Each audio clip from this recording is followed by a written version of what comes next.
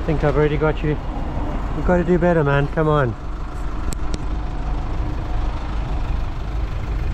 I think you should be putting that phone away. You're not allowed to be WhatsApping, are you?